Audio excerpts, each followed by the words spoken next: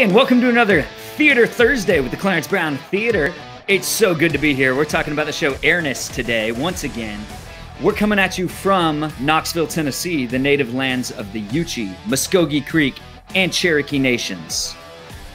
My name's Brady Moldrup. I graduated from the University of Tennessee in 2019, um, and I played D Vicious in this production of Airness. And I'm joined today by our post production team. Um, welcome, guys. Hey, Brady. Welcome. Hey. Rock on. Good to see you all. Um, so let's start things off. Steve Sherman, our director, our captain, captain of the ship. So we had a whole play rehearsed, staged, ready to go. Yeah. And then it got put on pause for about a year and it got brought back in a totally new fashion. Uh, tell us a little bit about directing this wild show. Yeah, we were so pumped. We'd done all the scene work, we had done all the air guitar numbers. I had worked on it for about seven months, you know, reading the script over and over and over, understanding the scenes and the characters, and and doing the air guitar choreography, uh, developing it from my living room uh, for each character, and then bringing it into the space and teaching you all. And it was so much fun. And there we were with a polished play ready to go, the air guitar numbers and the scene work, and then we had to shut down a week before a week before tech rehearsals. So, you know, normally um, a, a, show that is revived, uh, you'll have pickup rehearsals maybe weeks or perhaps months later. But in this case, it was almost a year later. But I thought you and the whole cast didn't miss a beat. We had all that groundwork there. And I, I think it came right back to you all, and it was really cool to see. We just needed to put the fairy dust right back on it and polish things up a little bit. So it was different, you know, doing the air guitar numbers in the theater instead of having that live audience and, and feeling that energy and getting their laughs and their cheers. Um, you know, we shot it like a film shoot almost with with three cameras, but that was also really fun and and we had a lot of fun filming that. We're having a lot of fun editing it.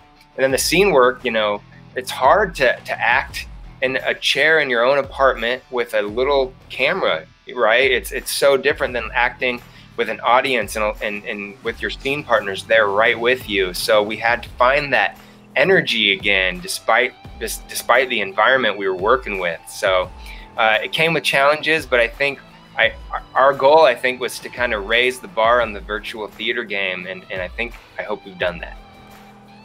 I think that we have. I feel good about it. Um, but this whole virtual theater game, I mean, it's a totally new game. It's not a live stage show and it's not film either. It's a totally new breed of animal. Um, Joe, take us through a little bit what it's been like at the Clarence Brown creating this hybrid production. Well, I tell you, I, uh, none of us had done this before. I mean, this is you know we we are sometimes content creators, and and in in theater we we create content and put it up on stage. But some of the digital media students have, have done some filming, and and Steve Steve has had the most experience of us of any of us doing uh, uh, some film shoots. But uh, but this was all new and it was interesting and it was exciting to experiment and learn. You know, uh, here at the Clarence Brown Theater and the Department of Theater, we have a dual mission where we, uh, where all of our professional projects and all of working with professionals and teaching students at the same time. So we took this as a real great opportunity to learn to all of us learn and teach and and and make this happen you know? We uh, uh, but the process itself was strange because it's under covid you know? So we we wanted to make sure that we did a safe safe project. So we had uh normally in theater we have 50 people in the room. We've got designers and assistant designers and technicians and board operators and directors and and crew members backstage and and a stage manager running running the rehearsal and the the, the performance itself and and uh, uh, this time we we stripped it down, stripped it way down. We had eight people in the room. We had uh, a lighting designer, creating cues. We had the set designer making sure that the, the set was functioning, but also that set designer was running one of the cameras. We had the stage manager who was running the rehearsal, but also running follow spot. We had another camera operator who was a dedicated camera operator. We had uh, the director um, uh, running the ship, and then we had two faculty members helping to uh, also run some cameras and also giving advice and and keeping it uh, uh, keeping the learning process moving forward. And then we had a performer, and we did one performer at a time. And we did these nightly sessions where we brought in a performer, and uh, everybody was masked, everybody uh, was social distanced, er- everyone was sanitized and, and and took precautions to be safe. Um, now, interestingly, all the rest of the people who usually are in the tech rehearsal in the theater space were actually there with us, but in their offices elsewhere in the Clarence Brown Theater, in shops and in offices, waiting to be uh, told when we needed help. They would. They were all on a Zoom call. We had a computer in the theater uh, on Zoom watching the rehearsal while we were filming the the rehearsal, uh, filming the shoot, and um, and if a costume had problems, we'd we'd say, "Hey, can somebody from costumes come up and help us?" Or somebody would come up, or the actor would leave, and we would just uh, uh, move forward. So we felt very, very supported, but it was a very strange experience because everybody was uh, elsewhere. Totally, and that was the space at the Clarence Brown, and then the actors all went home and filmed all the different scenes in between the air guitar numbers, filmed them all remotely. Uh, what, I mean, there were all sorts of. How did how'd you go about that filming sure. remotely with all the different actors?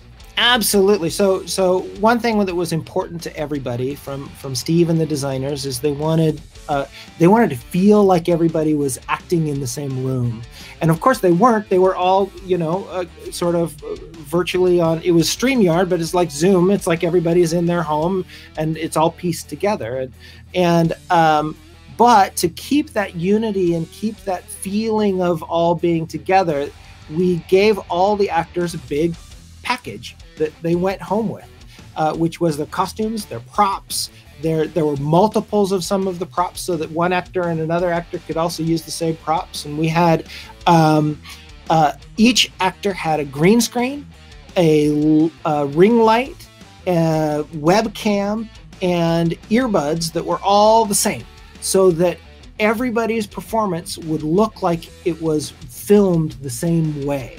And then the lighting designer took great pains to make sure that that everybody uh, that everybody had the same tonality in in in light, uh, which turned all of the actors, as as you know, Brady, into technicians. Um, but uh, the set designer took pictures of the set, uh, and we used those as uh, backdrops in a, in the green screen. So so it really felt like this sort of unified artistic expression um, that was as close to the uh, the film shoots in the theater that we could get. Totally. Yeah, and it was really interesting becoming the remote technician. Bill would chime in and say, "Move your ring light three feet back and adjust it this much," and you're going, "Is this right?" And then you got to go again, "Is this right?" Um, but we did that for about five days. We filmed those scenes, and uh, so the scenes on Streamyard as well as the air guitar numbers in person. Filmed a ton of them, and then we handed all the footage to Chandler, our editor. Chandler, tell us about the editing process. Yeah, it's it's kind of crazy because I'm like at the end of the process, and it's kind of my job to kind of like piece everything back together. And for this project, we had like over a hundred pieces of footage from like the StreamYard to the air guitar sequences to even like the good audio and like added sound effects that we got to add in post and everything, and just like piecing it all together to help tell this story in the way we want to kind of tell it through this new medium. And it's very important uh, in my job to help that by like capturing the right choreography, the right emotional beats, and the, keep the energy going throughout the show, and capturing the just capturing who these people are and the story of, of this whole of all of airness. So that was like super important, and like throughout the process, I would talk to designers, making sure shots looked right. Be like, hey, Bill, does the lighting match what you wanted, envisioned? And it's just like, it's all this like making sure we kind of all have this unified vision that gets into this final product for everyone to watch. And one of the biggest things is uh, early in the process was generating this shot list, which kind of like got nitpicky of just what we needed to film, how we needed to film it, and how we need to edit and put it back together. And like without that, the, this end process would not be as smooth as it was. And it's been brilliant because now it's just these we have these nightly sessions of just going through the footage with me, Steve, and Joe of just switching where we want things to go, camera angles and such. And it's just been a lot of fun. Totally. That's awesome. All right, speed round. Favorite part of the performance of the show? Go every character represents one pillar of air guitar. That's their persona. And I love each one of them kind of gets a big number. They're winning regional quarter um, quarter um, qualifier. And I just love all those numbers. They were really fun to choreograph and they're so fun to they were fun to watch you all perform and, and learn and um, and then when we added all the design, those are all my favorites. And then it, it accumulates with the with the finale. So my favorite thing is my 15 year old son Max, who has been watching this process and who's uh, who uh, has been sneaking into the room to watch some of the video editing uh, and just watching his eyes light up because it's so much fun. It's the rock and roll, and he's having a blast. And particularly, he's having a lot of fun because he gets to see his uh, high school drama teacher, Brady Moldrup, there uh, uh, dancing away, which has been fantastic. yeah, for me, it's I've had a lot of fun editing the uh, um, um, "Keep on Loving You" guitar sequence because it's just you get a lot of those fun, emotional beats in there in the choreography. I just it's just hilarious. So funny. For me, besides Max walking into class every day greeting me like this, it, it was getting from the uncomfortable nature of what it is to play air guitar in front of people going through it a bunch and then becoming really confident with it and really letting like letting loose and play imaginary guitar as ridiculous as it is it's it's been a blast. Um well Airness, thank you steve. Um Airness, you've still got two days to catch it. It's running until the 17th and you can find more information at clarencebrowntheatre.com post-production team joe chandler steve thank you guys so much for being here. It's been a blast Thanks, Brady. Thank, Thank you. you. Of course. And keep coming back for more Theater Thursdays.